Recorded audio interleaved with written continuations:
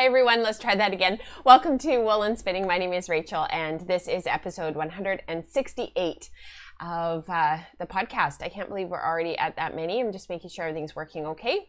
Thank you so much for being here, you guys. Thank you for uh, spending the time with me and for being here. The um, the chat is very busy already. I'm not even sure I can scroll back and like figure it all out. So thank you so much for being here. We've got a lot of people um, I just, yeah, thank you for being here. It is a sunny, overcast, smoky morning here. Sunny, smoky, overcast, rainy morning here. Uh, it is Saturday. What day is it today? September 19th, 2020. Thank you so much for being here. Um, I, I just want to thank everybody in the Patreon community for your time and for being here and all the things all the things. Have you guys had a crazy week? We've had a crazy week. Not in a bad way. It's just been very steady. Um, the kids are settled back at school. They had a full five day week. It was full days. It was very, very um, intense for them. They've been out of school for seven months, right? So getting back into the routine and going to school, they're so super stinking excited, but they're also like, we're really tired. And James got up this morning, grumpy, grumpy, grumpy. And he says to us, I've been awake since 2 a.m. So I had gotten up to use the washroom at 6 a.m. and he had left the, the hall light on. And so I went and turned it off. He was fast asleep. But apparently he was up during the night. So yeah, grumpy, grumpy. So yeah. Um, just looking at the chat really quickly. Thank you so much, you guys. Oh, thank you, Dana. we will be talking about this. um, I actually have all the windows open because for the first time in almost probably 10, almost two weeks, 10 days, two weeks. Um, we have rain. And um, I know the Pacific Northwest needs rain more than anything uh, because of these fires. And uh, my heart goes out to all of those of you who are just south of the border from us. Um, often British Columbia is the, where all of the fires are. And so I just, my heart just goes out to those in Washington, Oregon, and California because not only did the fire season start early this year, it's been just catastrophic. So um, I'm re- I'm thinking of you. We've been up to our eyeballs in smoke here, but having the rain um, and actually it's been really cold because um, there's sort of like an inversion effect that happens when there's the smoke. So it's been really cold. And thankfully, we can have the windows open this morning and just kind of get some air through because with the rain, even though there's still smoke, it just freshens everything up. So fingers crossed some of this will uh, dissipate. So, um, you guys are chatting about where you're from. You're totally, so I had said just one moment because Nora was having a tough time at the front door and um, they've gone to do a bunch of errands that Mike wanted to get done we think my car might be le- leaking oil a little bit, which is super frustrating. So, um, anyways, Diane said we're entertaining ourselves. and I'm looking at the chat and I'm like, oh my goodness, you guys totally are. So in today's show, I'm I changed the format around a little bit. So you're gonna we're gonna have a slightly different format to the show. I would love to hear from you whether or not that works for you or not. Um, and um, uh, we'll sort of run the credits in just a second here. There's not really a whole lot of housekeeping that's new, so everything that's sort of existing is down below in the show notes which are linked for you at patreon.com slash purls. It's all down below here on YouTube. Please click the subscribe button. That just gets the show out there and gets more people seeing it. Um, book club we had yesterday, it was lovely. That's actually how I was able to finish my sweater and we started a tin can knits along so um, people are just kind of getting their projects together they're just kind of figuring out which which of the tin can knits patterns they want to that they want to make. I have created a Ravelry link for you guys um, for that. And for those of you who are not on Ravelry, we will use the hashtag sweater spin um, on Slack. And if you want to access the show notes and get all of the links for books and whatnot, I have put the link in the live chat as well. So without further ado, let's um, Oh, uh, one more thing. We have, nope, we're going to do that later. So let's get into the show.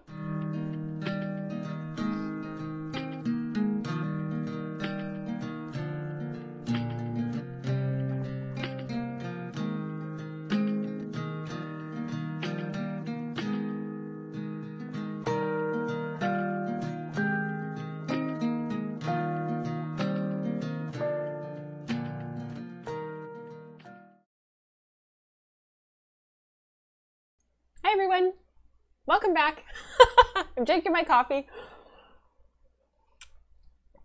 So I have a whole bunch of stuff that I wanted to share with you this week because I have been swatching up swatching up just a ton.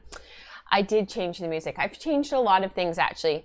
Um, I have been busy. So new intro, um, trying some new things. I so I had mentioned this on um, a previous podcast episode that in Canada, often many people feel like um, September is the beginning of the new year, and then January is just kind of a continuation of this new year, and it's all around our school our school year. Anyhow, um, thank you, Erica. That's very kind. Thank you. Um, and yeah, so I've just been making some changes, trying some new things. It's all sort of uh, the 51 yarn spin along is coming to an end at the end of uh, December for Group A. Group B obviously is going to continue on, but it just means that I get to. Um,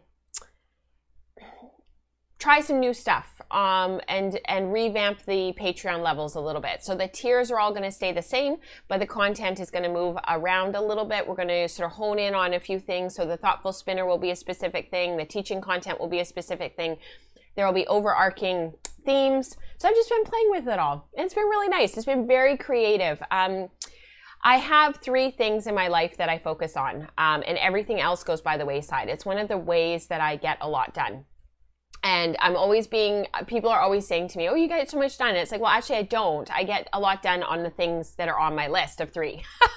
so the first thing is uh, Family First. Um, this all comes from um, um, Essentialism. If you haven't read that book, I would highly recommend it. If you're struggling with um, things like, be focusing on what truly matters to you, uh, figuring out what you want to do with your life. Um, what else? He talks a lot about sort of honing in on the things in your life that are the most important. Um, you know, if you hate to cook, stop cooking. Um, stuff like that. It's not that simple. I recognize that, but um, and then Ben Bergeron of Chasing Excellence. He's the guy behind CompTrain, which is a CrossFit thing, uh, which Mike and I don't do anymore. But um, he talks a lot about focusing on two or three things, and everything else in your life is sort of um, icing on the cake. So my three things are family first, a creative life and feeling connected. So if the if something that I'm choosing to do doesn't fit one of those three things, it's out.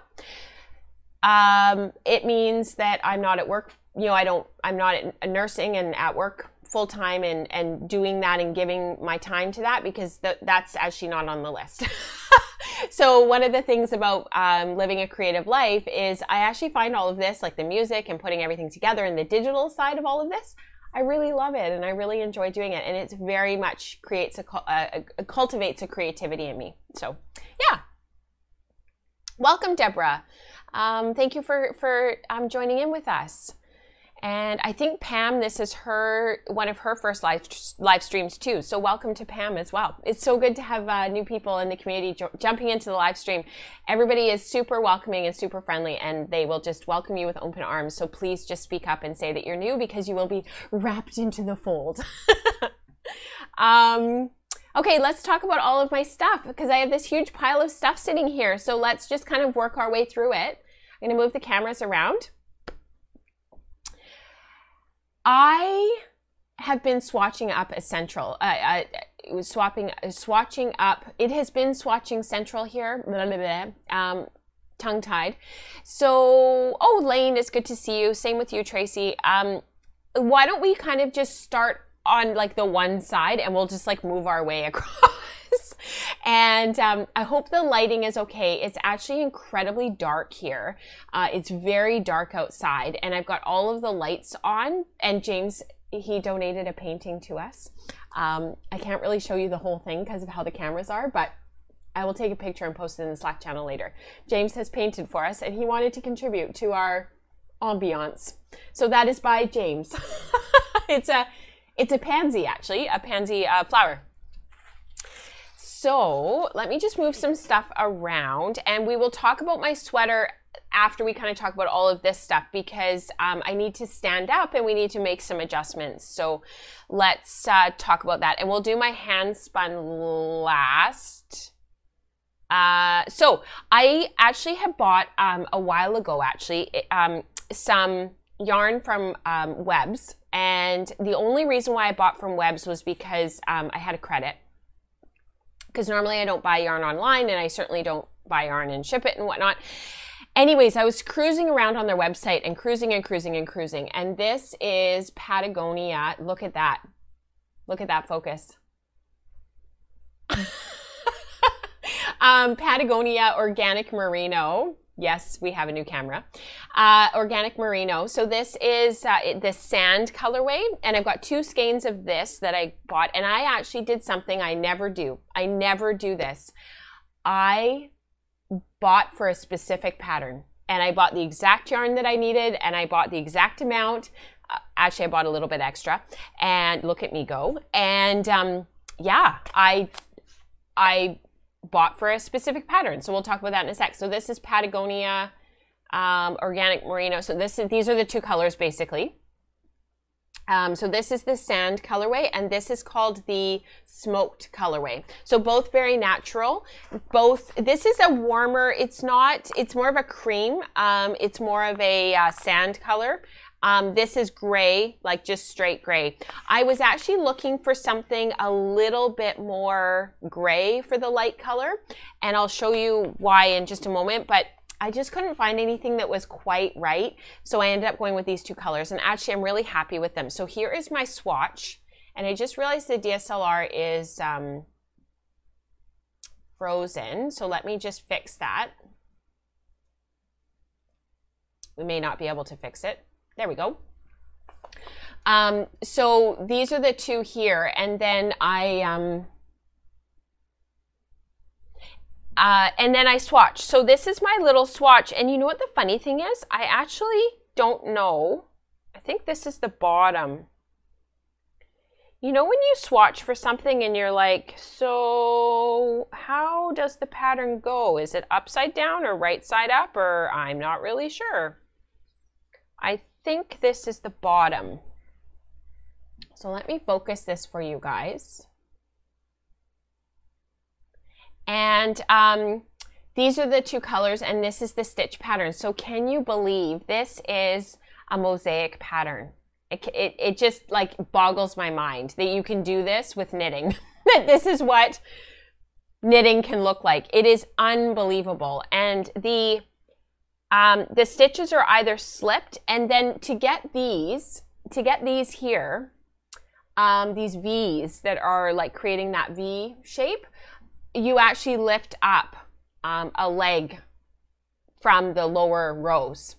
Unbelievable. The texture is unbelievable. And you would think that this would feel really thick and really heavy, and it doesn't at all. It's beautiful. So unfortunately my gauge is a little bit too big. So let me show you what I'm working on. I'm gonna move these extra skeins out of the way. This is a pattern that I have wanted to knit since 2007. I was like, can we harken back to 2007? Does anybody even remember what happened in 2007 after everything that's happened in 2020? Like just 2020 alone has been such a crazy year. Can we like is it even like can you even remember what you were doing in 2007? I hadn't even started my master's degree.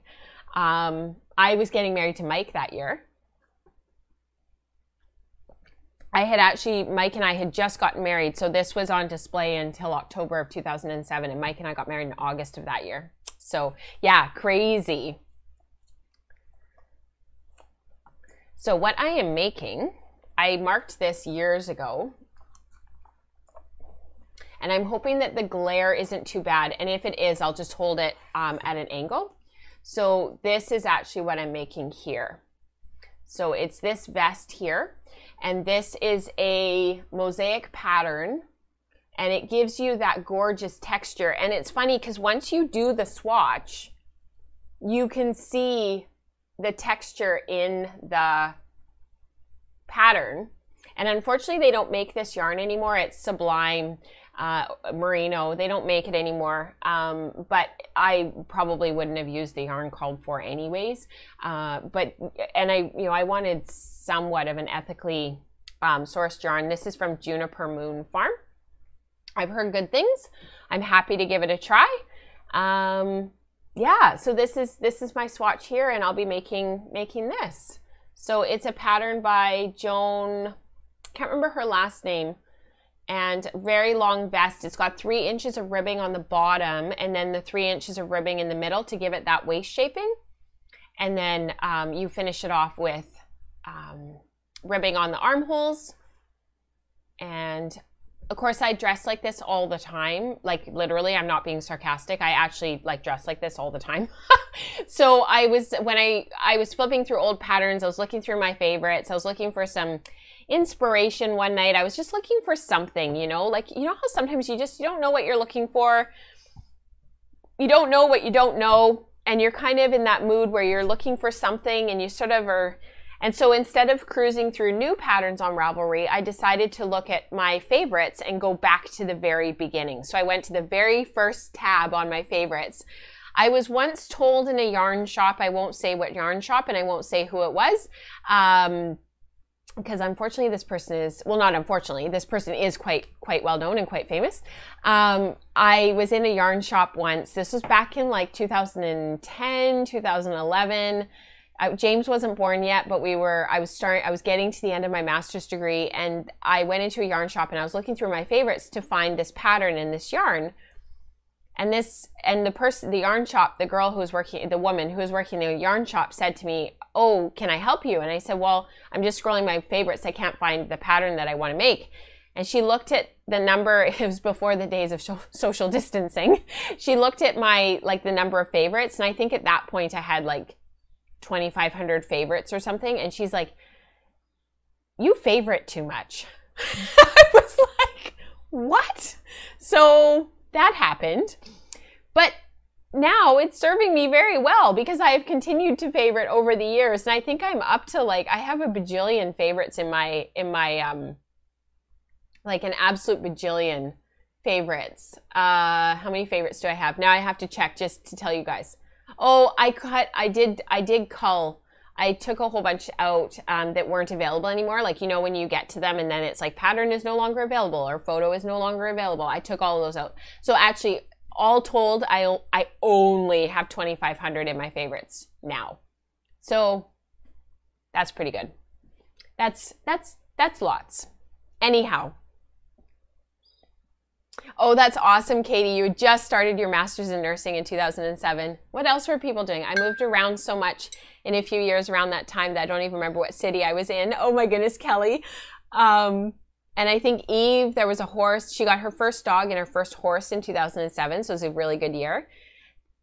Uh, Janine started eighth grade in 2007. Um,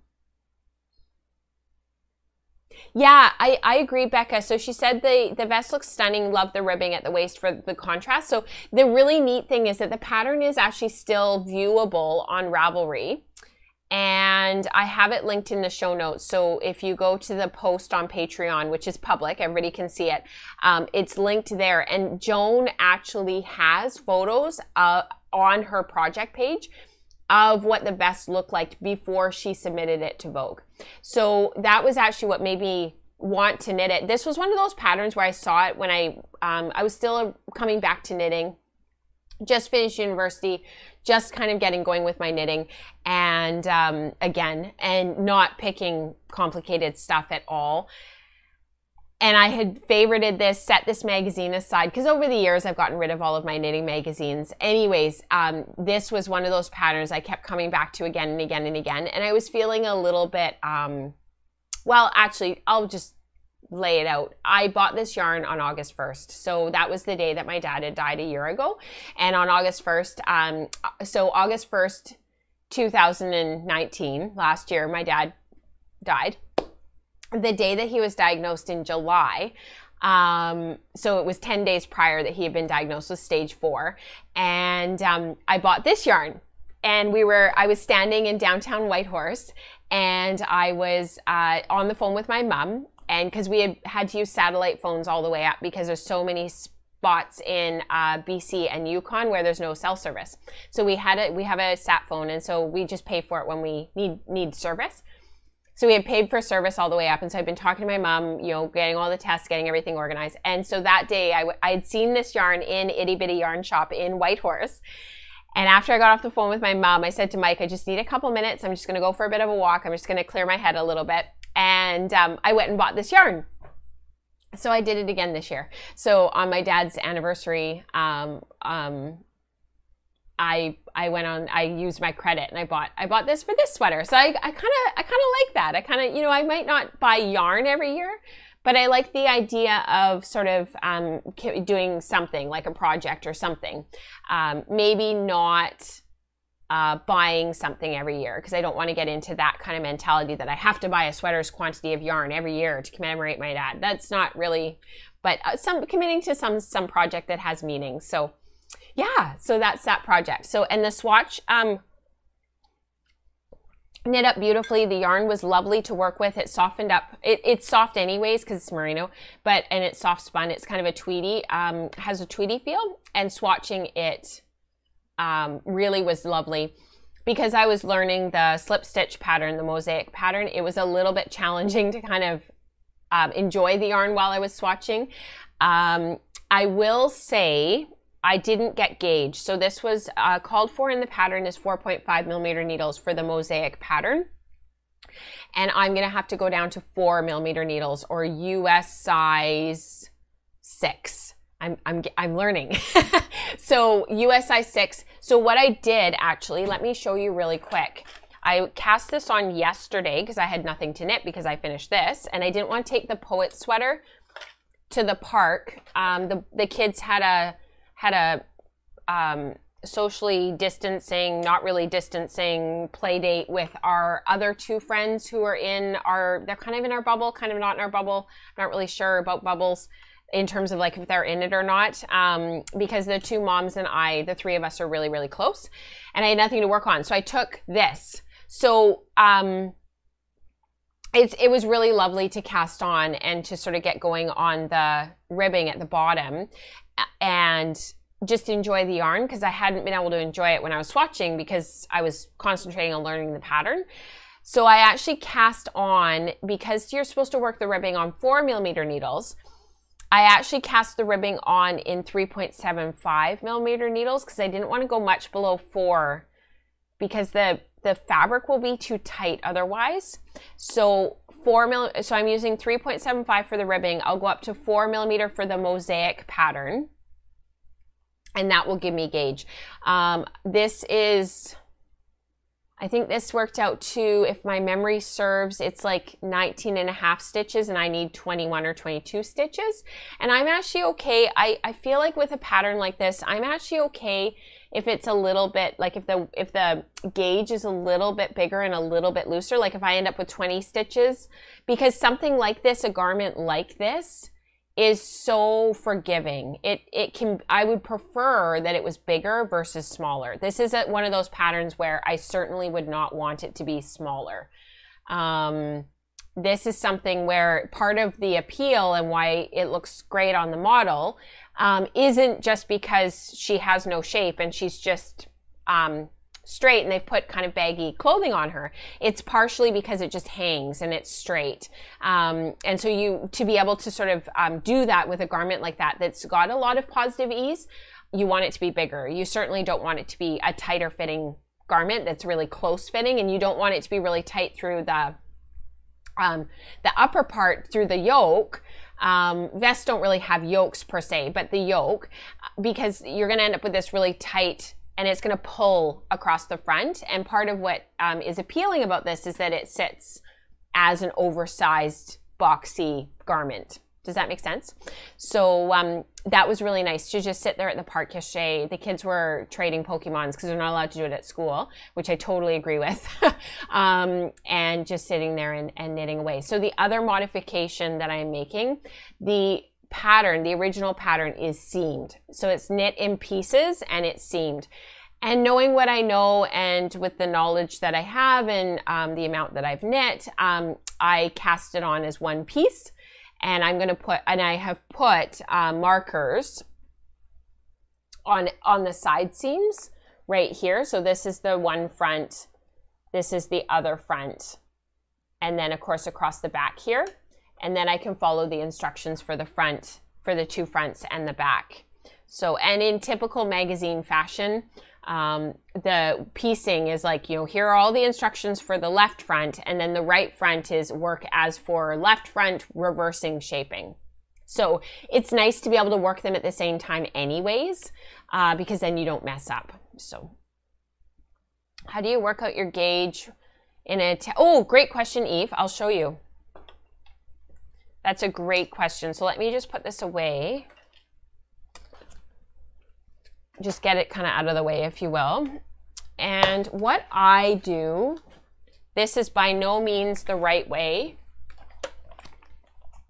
I'm kind of running out of space right now. Like it's funny. Um, sometimes I feel like I have so much space and and I've got lots and lots of um, places to, place to work.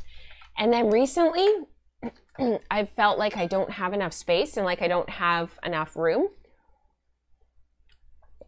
but then I looked around and I realized that it's because I've got lighting everywhere, I've got cameras everywhere, because um, I've been really trying to document what I'm working on. And there was something else. There was another reason that I was feeling, oh, I've got a bunch of lazy Kates out because I've been applying multiple things.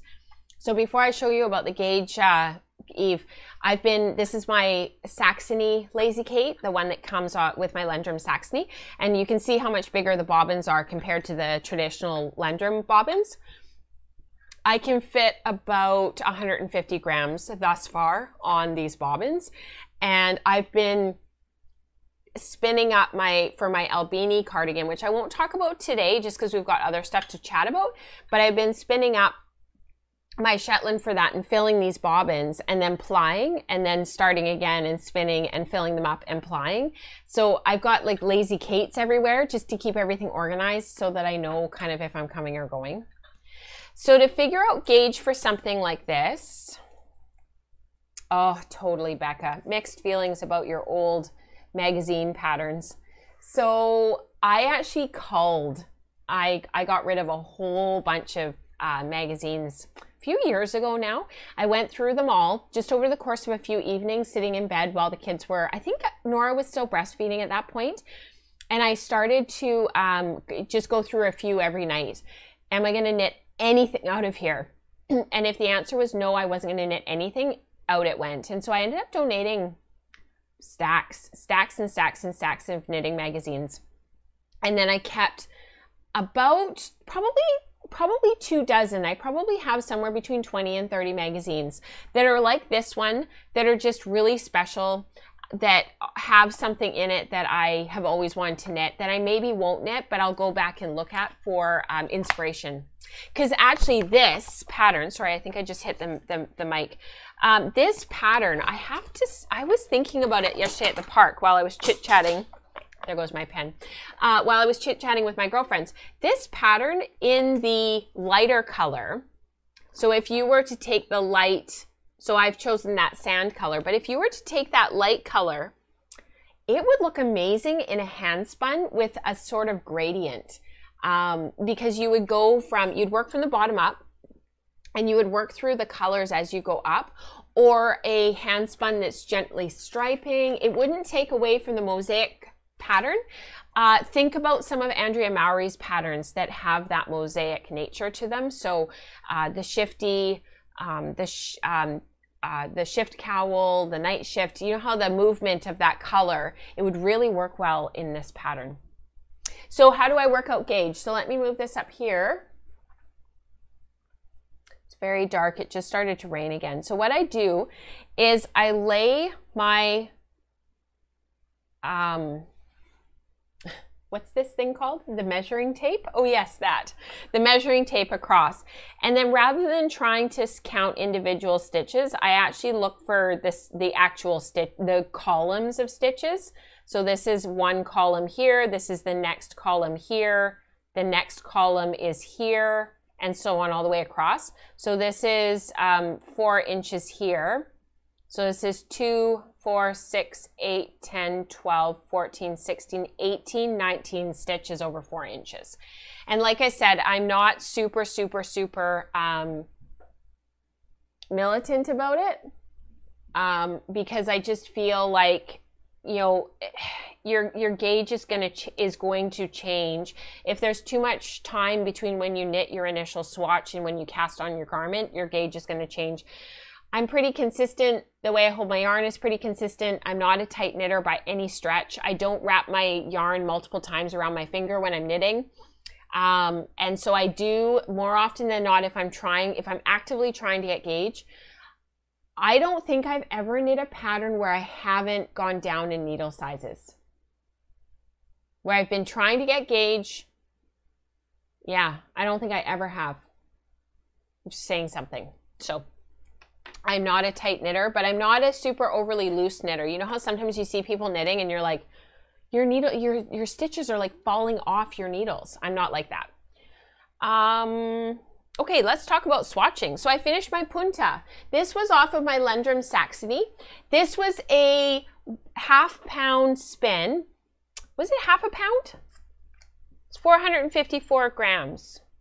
Sorry, 500 and it's 0.5 of a pound. Yeah, yeah, it was point. It was half a pound. I was like double thinking that for a minute. So it's half pound spin. This is punta. It's sourced in Argentina. Uh, in um, and so down in South America, they often call um, uh, uh, punta. So this is Corriedale. Um, I got it from a closing out sale at Shuttleworks in uh, Calgary years ago, 2016. And I had it in my stash all these years. And I think because I was still sort of a relatively uninformed spinner, I'd really only worked with Corriedale, uh, Merino, BFL, at that point in my even though I've been spinning for quite a long time. I was just spinning singles. There wasn't all of this. This didn't exist the online community, right? This is all relatively new having access to Instagram and Facebook and Ravelry and people who are as excited about making yarn as we are. So I thought it was something really weird and wonderful, but it was just Corriedale, which was perfect for putting the Saxony through a uh, not a trial run, but basically running it through um, and and um, getting used to it basically. So I ran it in Scotch tension and I did a traditional two ply. I spun half of the um, I, I took the fiber, it was in a bag, I divided it in half. Half of it got spun to one bobbin, half of it got spun to the other bobbin. And Bob's your uncle, it's a two ply, it's bouncy, it's springy, it's squishy. In total, I did all of my, look at me. I normally don't do these until later and I reskeined everything. I have all my numbers ready to go for you guys. And actually the only reason is because I'm torn about whether or not to ask Katrina if she, out of the goodness of her heart, would be willing to maybe dye this for me because I have 823 yards of yarn. It's a grist of 1510 yards per pound. So I have enough to do something, a sweater with it. So I decided to swatch. So down here, so the way that I do my swatches now is I do these purl bumps. It's one of the reasons why I'm getting better about my US sizing. Their purl bumps are the size of the US uh, needles because it's really hard to do 4.5 millimeters or, or, or 3.75. You can do yarn overs and purls and all these different things, but I'm finding it's easier to just do four purl bumps for US size 4, 5 for US size 5, 7 for US size 7. So look at me go with all my organization. So as you can see, this yarn, this, this, this is massive, this skein. So I'm going to have to divide this up. And you can see just the bounce and the sproing. And of course, it was in the intro at the beginning of the show. Um, I love this yarn so much. And this is the little ball. This didn't fit on the last bobbin. So this was the little bit that was left. And I was like, oh, that's perfect because that will be my swatching yarn. So this is my swatch. So the first one is uh, one, two, three. This is US size four through here. And then this is US size five. And I still was getting a really nice fabric. And this is US size, I think it's six. No, it's US size seven. This is 4.5 millimeter needles up here. This is 3.75 and this is 3.5. So I I skipped the four millimeter for two reasons. I didn't think that there would be enough difference between the 3.75 millimeter and the four millimeter, and I really wanted to see what this yarn would look like if it was pushed to the to the extreme in terms of the knitted fabric. And I'm going to move the cameras just for a sec so that I can show you this. Look at this. It's it's not bad. Like for a for a the top end of the fabric. The 3.75 I think is the best. And then the 3.5 is really nice as well. So that's the swatch there. Isn't that amazing? And it's just two millimeter. So I've been kind of looking at patterns that um, would be, I could do sort of a shorter sleeve, maybe um, a bracelet length sleeve, or maybe even a short sleeve. Nori, sorry, Norland has a couple of short sleeved um, shirts with patterning down the front that would be perfect, that have lace work that would be perfect for um, any of these gauges actually. My concern about the 4.5, because it's quite open, you can see my, my thumb through there. My concern about that gauge is that, no, sorry, that's this, this end here. You see how you can see my thumb. My concern about that is that it would pill really badly. So, and I'm not, you know, I, I would like a fabric that would really stand up. So that's the punta. Does anybody have any questions? Yeah, great yardage. You're right, Eve. Really, really good yardage. So really great grist. I actually was thinking, uh, uh so I when I was plying this, I plied it on my e-spinner, on my Ashford e-spinner. It was lovely. I did it th- during a virtual spin group. And I plied it really, really tightly. So if I can move a little bit and I'll just focus the camera in for just a sec. Um, you see that twist angle there, like it's just got that really lovely 40, 40 to 45 degree twist angle. The thing, uh, so I lost a lot of that twist. I really, really tightly plied it when I was um, uh, plying on the e-spinner. Like I really pushed it and the twist angle was not vertical, but it was getting pretty close. Um, and a lot of that twist dissipated in the water because like it hangs straight. So all that twist and it still hangs straight which is really unbelievable. This white yarn is messing with the white balance. Um, so i was kind of thinking like i could put it back through the wheel and even tighten it up a little bit more even. Um, the only reason is so that it's like a really really hard wearing yarn and kind of make it more like that. But I don't, but I think this would also be really nice, really a lovely yarn for a garment or a shawl even that has some open work and some lace work. And if that means going down in needle sizes to create a slightly, a slightly denser um, fabric like the 3.5 millimeter, the US size four, I'm willing to do that. So it just might mean uh, short sleeves instead of long. So with 800 yards, I've got I've got some playroom, but I don't want to get to. I mean, I knit my gentle morning in with 875. No, that was a thousand yards, and I cut it really close, and that was long sleeves with a collar. So I feel like I've got some playroom with this punta. How do you spell sorry? You've got it, uh, Dorothy. You you nailed it. You spelled her name correctly. That's absolutely how you spell it. Breaking it in, yeah. Well, it's funny, Diane, because um, with a wheel like that, and we'll talk about this more um, in the future. You've got a mother of all that moves, and then I had it in Scotch tension um, just to play around with the brake band and kind of get that going. Um, but you know, even when you're in um, double drive and whatnot, like you've got more pieces that move, and you just got a wheel. The the drive wheel has a certain weight to it um, it has a certain momentum to it that's different. Yeah, it's just um, it takes a while to kind of just get used to a wheel that's that's new to you for for sure. So yeah, there's that. Realized I hit stuff as I was moving around. There we go. I'm being nitpicky. Um, somebody else had a question that I didn't want to miss.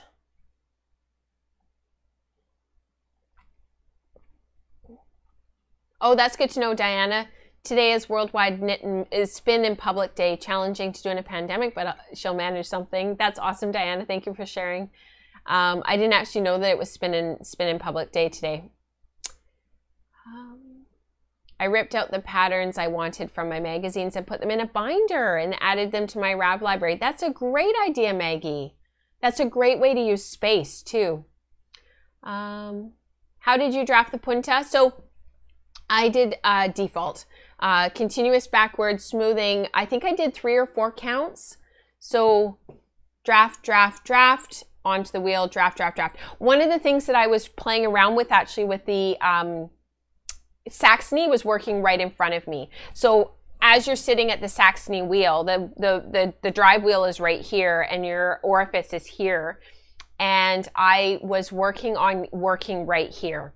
So I was working on drafting across my body like this. So that was one of the things that I really um, uh, was focusing on. I did change out the drive band, um. I went to a linen drive band. Um, it's just, it's a natural fiber. It's um, a little bit stickier on the wooden bobbins. I prefer it. If you would like a little bit of this to try on your wheels, just send me your address, Laureline, and I'll send that out to you.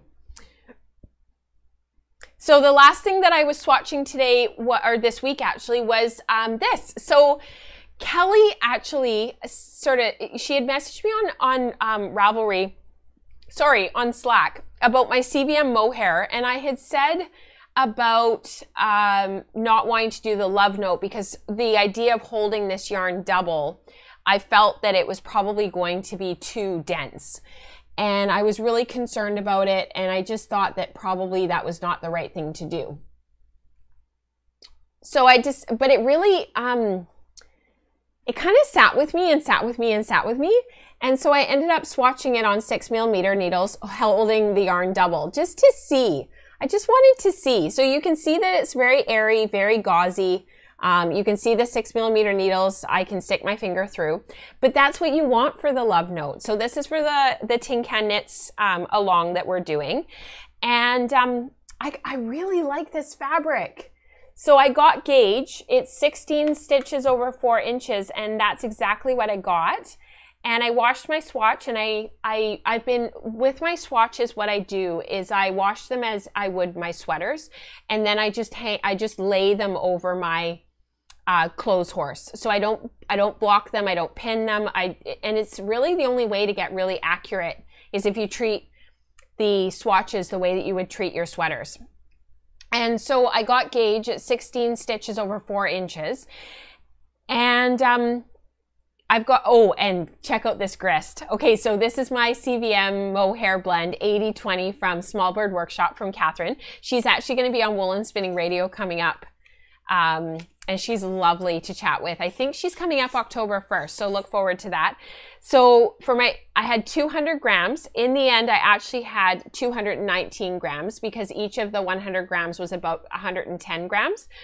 So I had 219 grams. I ended up with 1,015 yards of yarn, 1,015 yards, and a grist of 2,100 yards per pound. Yeah.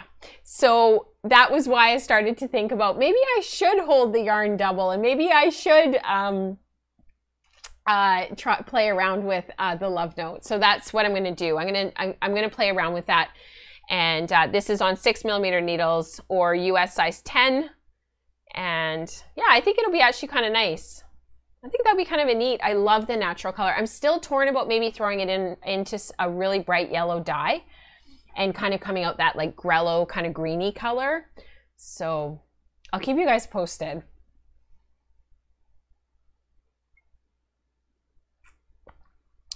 You guys are talking about bobbins, so let me just catch up. So um, do you have wooden or plastic bobbins on your Craft? I have plastic. I actually have the ones that came with the wheel that are the camel color. And then I also have some bright, bright pink ones that I bought from somebody in Guild who had specially ordered them to match her little gem uh, that she had bought a bright pink whirl for. So I actually only have purple, or I, I only have purple. I only have plastic. And then my baby, uh, my core, my baby core bobbins, those are wood. so, um, yeah, Just um, want to make sure that I'm not missing anything. Wood. Okay, you guys talking about bombs. Awesome. Yeah, me too, Laureline. I'd really like to try their new bobbins as well. Um, and yeah, the stitch definition, I think, for this will be really lovely for the um, love note because it's a two ply. I was going to up ply and cable this yarn, but I don't really want to add much more twist. I was thinking about it last night as I, as I was knitting this, and I just don't think that adding a whole bunch more twist is going to do this yarn service because it'll just end up being really um, overspun and hard, and the, the mohair gives it strength that it doesn't need a whole bunch more twist. So holding it double gives it strength, and uh, the mohair in there gives it strength. Hopefully, um, it's enough twist to hold the mohair in there, although I'm not hard on my garments anyways. Um, Nora wants a love note as well. So I'm going to look through my stash. I've got some gorgeous um, soft. You see the uh, behind me here. You see that blue right there. That blue that's in there. That that like from our. This was from our organic breed and color study. You see that gorgeous um, bright teal teal turquoisey blue. I have a yarn in my stash that's Aran weight um, that I could use for the love note for Nora. And so I might actually do her one as well. Cause as soon as she saw me swatching for the pattern and she saw the lace, she immediately was like, can I have one too? And the shore cardigan went so well that I'm happy to make her one. This yarn was the yarn that I used for this sweater. So this is the Sauvebelin.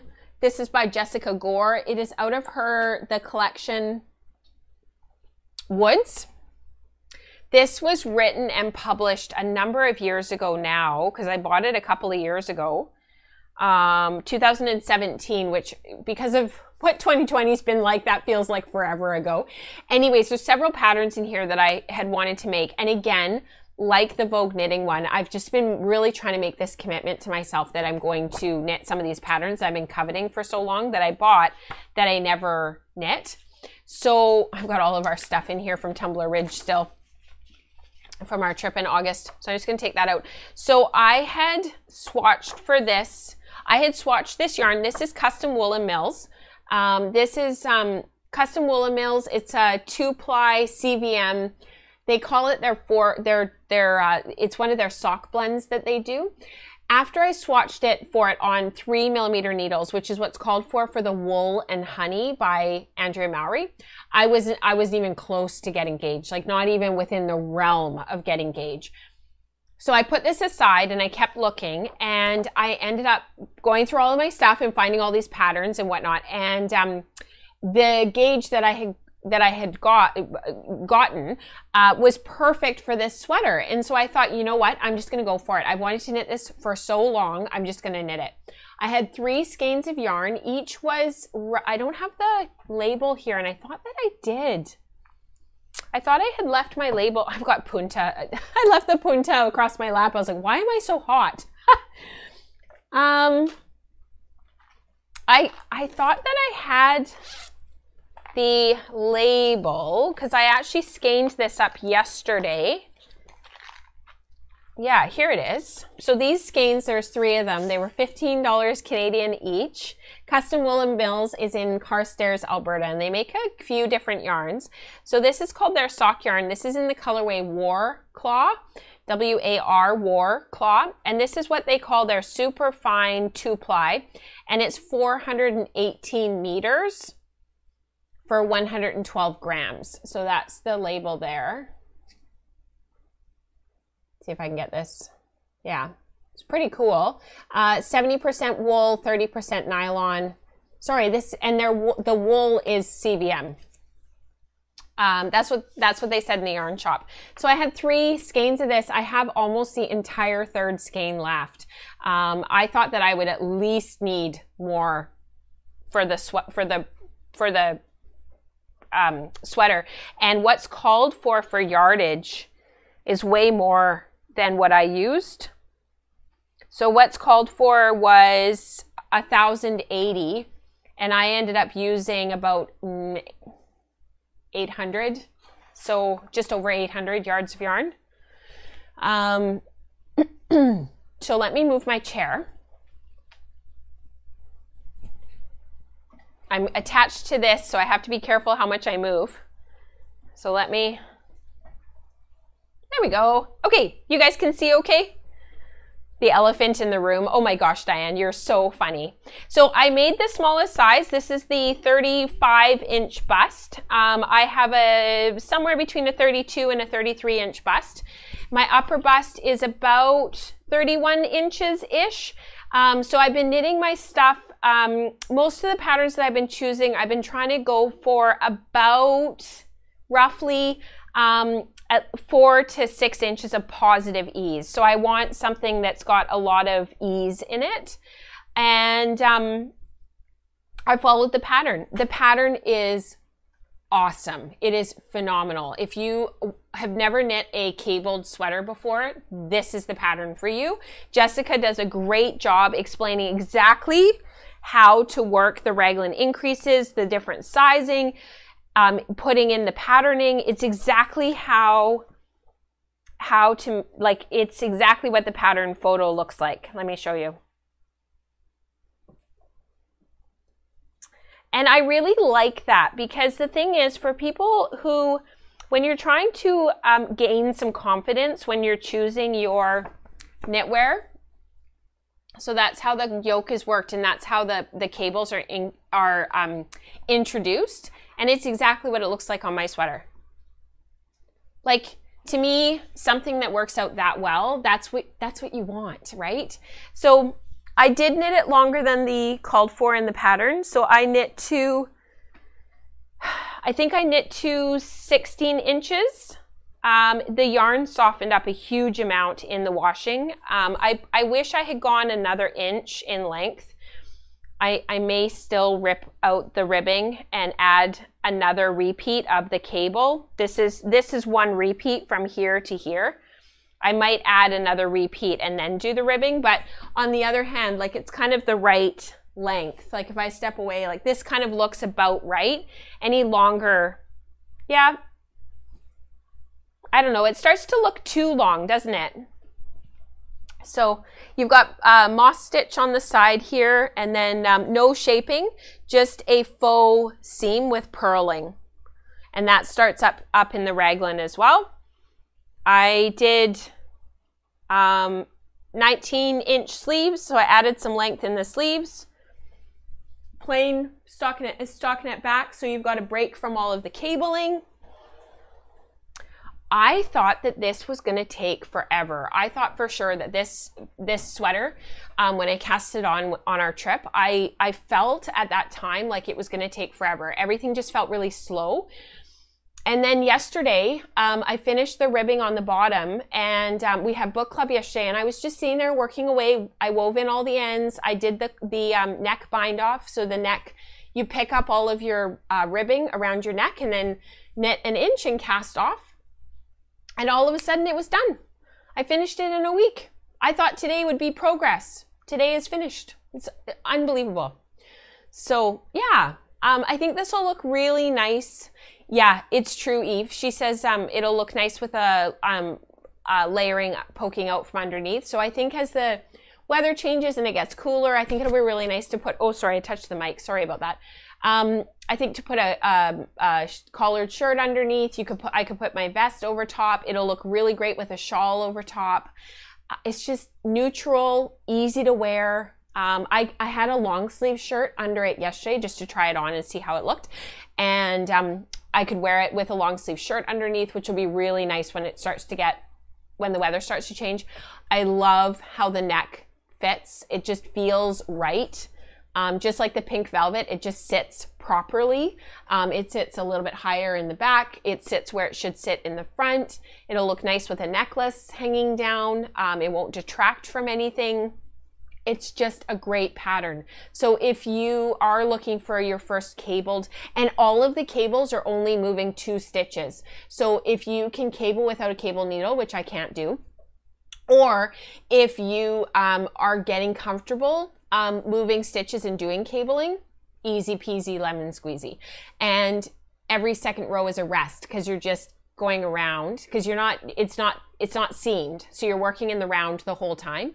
So you've got your one row of all your cabling and then you've got one row of of just knitting and then cabling and then resting. So you've got all of these breaks and it's really easy to keep track of because in this in the chart once you kind of get the hang of it, you know when you need to do another um, cable, especially for this one here. You know when you need to cable because it's looking like, oh yeah, it's time. So it's easy to keep track of. I didn't have to carry the chart around with me. And that really sped me up because by the time I divided for the body, I kind of had the hang of it.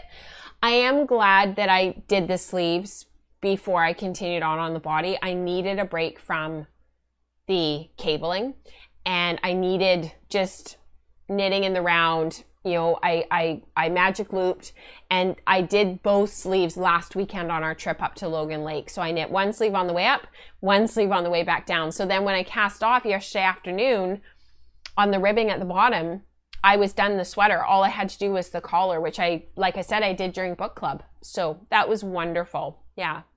Good to see you, Erica. Thanks for being here.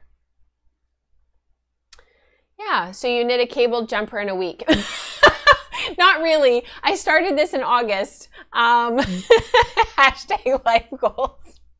I love you guys so much. So um, I knit from where did where was I? I knit from here down in a week. So I did the body in a week.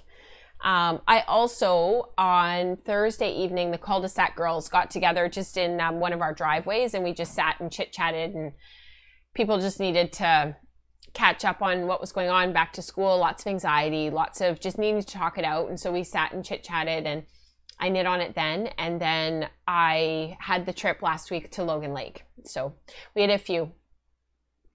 Yeah. So that makes me not so depressed. oh my gosh, I love you guys. All right, I'm gonna save the Tasar for next week, um, and we'll talk about the Tasar next week. Uh, the the Tasar spinning. I, I have a Tasar cocoon to show you, and the peduncle, and I've got my Tasar spinning and some Tasar fiber. So maybe by next week I'll actually have it plied, and I can chat to it a little bit more. This is from Sanjo Silk here in uh, Vancouver, and I have my little plyback test, and it's just been wonderful. Look at that can we just for a minute with the autofocus? um, the yeah, so I'll hopefully have this plied next week, and I'll I'll chat a little bit about the Tasar and what that experience was like spinning that, and we'll we'll do that for next week. So um, a little bit of community participation. So if you're interested uh, in in uh, participating in our giveaway for September, please tell us in the comments below here on Ravel, uh, here on YouTube uh, what is a blend that you spun that you didn't expect to be as wonderful as it was, or a blend that you're dreaming about spinning. So for me, I just started working on a new blend. This is a Masham BFL and mohair blend. I've been doing it on my drum carder. I finished up the first 100 grams on our trip last weekend. I took the e-spinner and I sat at the campfire and I spun and spun and spun and Mike kept saying to me, he's not very good at sitting still. He's like, do you want to go do something? Do you want to go for a walk? Do you want to go blah, blah, blah. Do you want to do this? Do you want to do that? And I was like, nope. I am spinning. I brought my e-spinner. It was wonderful. I've got some, some uh, lovely photos. And um, so I've got the second 100 grams to spin and then I'm going to apply it up. So this is my sample of this blend. So tell us in here on YouTube or in the episode thread on Ravelry and I will do a random number give random number generator um, giveaway. I'll include the entries here on YouTube for those who don't use Ravelry. Um, and I will include all of the entries. So if you commented last show, if you could just not comment again, or maybe just um, um, tell us about your spinning anyhow, and I'll I'll just take some of those um, second the second entries out. Um, I will look after that. You go ahead and comment. um, we've got breed and color study happening right now and uh, this is running until the end of December. And I wanted to share Inne's project. Um, so she is working on, she finished her spinning. So now she's wondering what she should knit with it. So she's got um, 100 grams, 317 yards, traditional three ply, approximately 17 wraps print. So she's got this gorgeous, gorgeous, lovely gradient um, fingering weight yarn. And I just thought, well done, In. So this was the uh, photo that Greta um, submitted uh, at, the, at, the, warmest row. Um, Greta's a, just a, an amazing spinner and knitter. I think everybody um, will agree with me. Um, I love sharing sharing her stuff as well. And uh, um, Katrina made the bats for this time round, we're, and we're saying the Charolais, and people so far have been really enjoying it. I think overall, you guys have. It's been overall very positive. The uh, the responses for a lot of people, this has been new. Um, spinning the spinning the Charolais, and I think for the most part, it's been really super positive. So I'm really glad about that. Uh, and this is Greta's project. So at Back to Basics, Greta is local to me. She's a friend of mine. And uh, she just finished her breed and color study. She loved working with the yarn. And um, as soon as she was finished, she wanted to make with it. So this is her finished yarn. Um, she stripped down the bat as you saw in that first bobbin. And then she's got these gorgeous fingerless mitts. And I'm not sure if this is Greta that's modeling or maybe her daughter. So, and I love the pattern that she used. I'm sure it's a um, mosaic pattern. Mosaic knitting seems to be, are you guys noticing this too? It's kind of like popping up everywhere right now. I feel like there's a lot of patterns out there that are mosaic knitting. Um, obviously, Andrea Mowry's made it really popular. There's quite a few patterns that SweetGeorgia Yarns has put out that are um, mosaic knitting. They're just such a great way of using hand spun. So if you're having trouble using your hand spun in your patterns, definitely look up mosaic knitting. Um, and if you use Ravelry, do go into the search box. You can go into, um, let me see if I can link it for you. If you go to patterns um, and go to the pattern browser and advanced search, and then type in mosaic knitting. I wonder if I can link this. Let me see. I'm going to put this in the chat box. Um, so, so, so, so many patterns come up. So I put that in the in the live chat. There are so many, many great patterns that come up. And I'm really, I'm seeing this again and again and again. The mosaic knitting option for handspun is just an awesome way to add a little bit of texture to highlight our handspun. So yeah, I would love to hear from others what your experience has been. Yeah, it's really gotten a boost from Andrea Mowry. I think you're right, Kelly. Yeah, I think I think a lot of people it's kind of made a, a bit of a resurgence and people are, are looking at that technique um, again. So pattern name, you missed it. Sorry, Dorothy. It's this this is the Sauvebelin by Jessica Gore. So this is um, I should have been more clear actually because I know that people will ask. So thank you. This is the Sauvebelin designed by Jessica Gore. And it is linked below in the show notes. So if you have any questions, don't hesitate to ask. And it's in the Woods uh, publication. And actually, I was wondering, maybe somebody knows and you'll beat me to it. I'm not sure if this pattern has been released individually yet or if it's only available in the book. Oh, she has released it individually. So you can you can get it for $8 US. So I have linked that in the show notes as well. So, and it's wonderful to be able to support knitwear designers out there who are just very thoughtful about their patterns and are just doing such a great job. Um, and actually, if you guys have other knitwear designers that you find their patterns are really, um, really well written and, and um, that you've really had good results with, please, please share, especially in the hashtag sweater spin thread on Slack, because um, we're looking for sizing inclusivity. Um, we're looking for really well written patterns and um, maybe a designer that people aren't that familiar with. Um, because I know it can just get really overwhelming searching for all of this stuff on on Ravelry and trying to find all these things. And um, you know, maybe you're using Instagram or Facebook to find your stuff, or maybe you're looking on Etsy, and it just gets really hard to find um, all of the different knitwear designers out there. And there are so many talented people out there that it's really nice to be able to uh, support people. So I don't mind spending $8 US on a pattern if I know that I'm getting a great pattern. So yeah. Such a great way of mixing colors without a hard edge. That's exactly it, Becca. You just nailed it. That's exactly what it is. I think that's why that's why the mosaic knitting works so well. It's why sweaters like um, the stone crop cardigan or the stone crop pullover, it's why they work so well with our hand spun in the uh, color work because it's not this blast of color and then another color right below. You you've actually you're you're kind of interspersing the two The other pattern that I thought would be great for hand spun um, to use up little bits and bobs was uh, is the throwback cardigan which I've made. Um, it's a it it fits me okay, but the other one she's done the th- there's the throwback and then there's the throw over, which is the um, uh, pullover version. And again, like you know, you've got just that little bit of color work in the yoke that you could use up a whole bunch of hand spun scraps. So yeah. Trisha's knit several by Caitlin Hunter. Her gauge is really loose. So don't be discouraged by needing to go down needle sizes. Great patterns for hand spun. It is like pointillism. That's right, Eve. Yeah, absolutely. Yeah. I think Caitlin Hunter's having a um, 30% off sale this weekend of her patterns. I feel like Megan posted about that in the Slack channel. Um, yeah, so if anybody, if you guys have any other questions or any other thoughts as we wrap up this show, I feel like today went like that. Is are you feeling like that too? Sometimes I feel really um like pressured to share everything with you and I feel like I'm talking really super fast and I'm inhaling a ton of, of air into my stomach. Like sometimes I'm like, okay, yeah, I'm talking really quickly because I'm like gasping for air sometimes as I talk. Cause I do, I do talk quickly anyways. It's something that I always have to remind myself to slow down.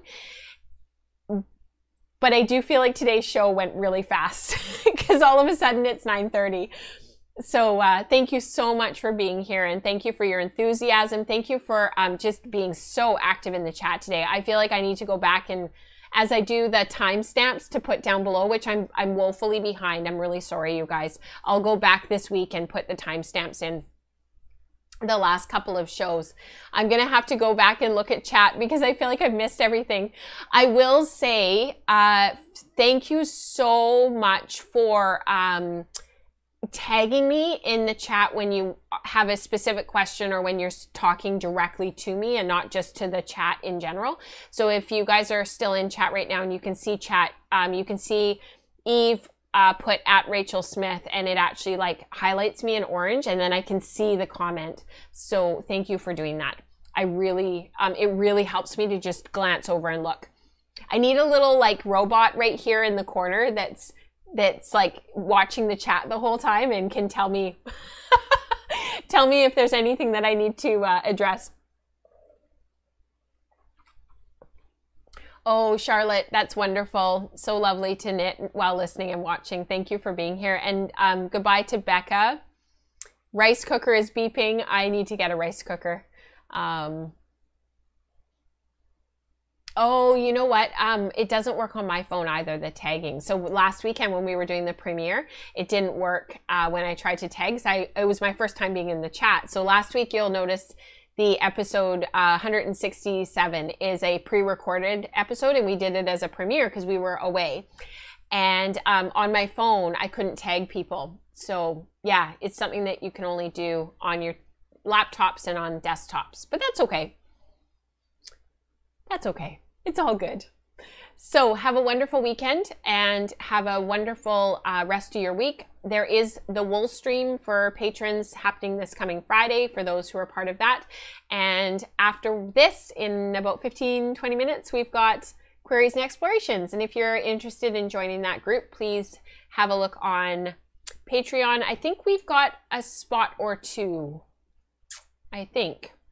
I might be telling lies, but I think we've got a spot or two in queries and explorations right now. So if if that spinning group, virtual spin group, if that if that interests you, uh, please go ahead and check that out. Let me just make sure I'm not telling lies.